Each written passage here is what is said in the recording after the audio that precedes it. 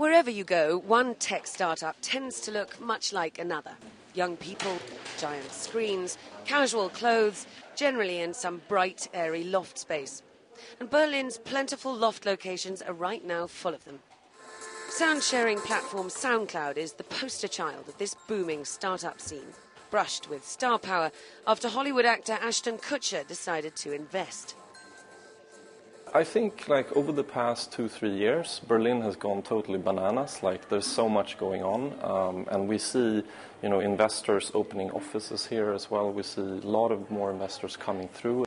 Swiss-born Christophe Maire was the lead investor in SoundCloud and was last month named Financial Angel of the Year in Europe's annual Tech Startup Awards. The interesting uh, element is that we have a combination here of, of uh, you know, the, um, the German uh, ability for, to execute uh, and this creativity uh, that you can find in this city. And, uh, and frankly, some, that is actually attracting um, capital from, from the traditional startup hubs such as London and New York. German venture capital firm Earlybird has just opened an office in Berlin, the first major VC to do so.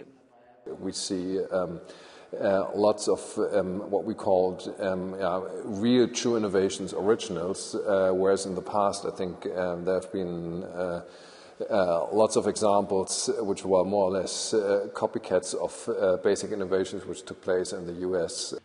One of those new originals, in Earlybird's view, is social betting platform Crowdpark. 3,000 Crowdpark credits? Yes. Wow, yes. For a big spender. And now I can share it and post it to the wall.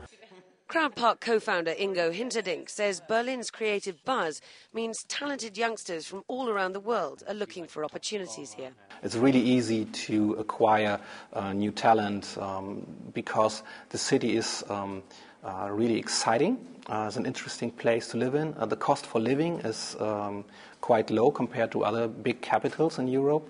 And the standards for living, especially what you are offered uh, on the cultural basis, is really, really great.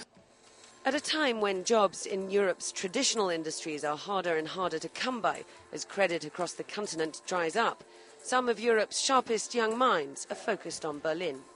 Watch this space. Diana Magnay, CNN, Berlin.